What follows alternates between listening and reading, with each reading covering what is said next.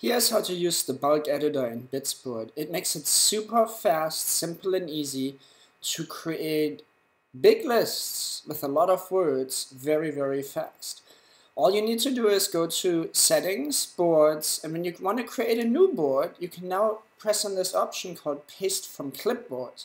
So if you have created a list of words for a spelling test, for example, in an editor or text editor, uh, once you have paste, copied that into your clipboard, all you have to do is click on this button and voila, here's the list that was in my clipboard and it's been pasted in here.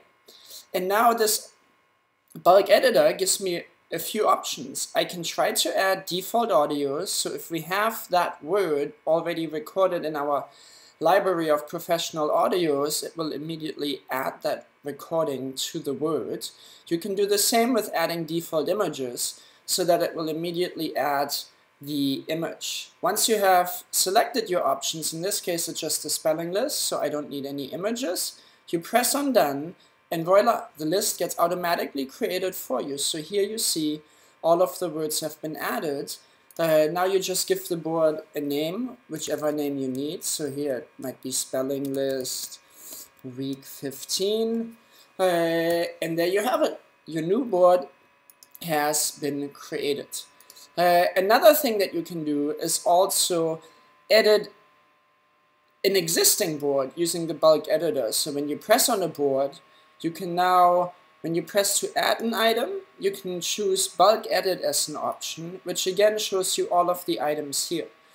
And uh, now you can uh, delete existing items, add new items. It all works super, super simple and fast. Let me quickly show you uh, if you want to create a new board with the bulk editor.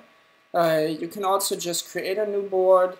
And in this case, I want to use the bulk editor and I want to add default images. So let's just show you a couple examples. Let's say I'm working on farm animals. I can add cow, sheep, horse, a hen, and then you can say, okay, I want the default audio and image.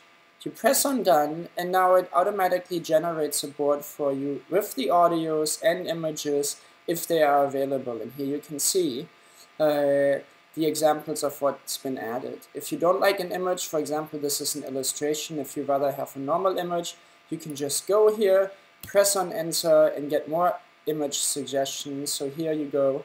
Uh, you might prefer this. And uh, that is how quickly you can now edit, update, and create new lists with the bulk editor.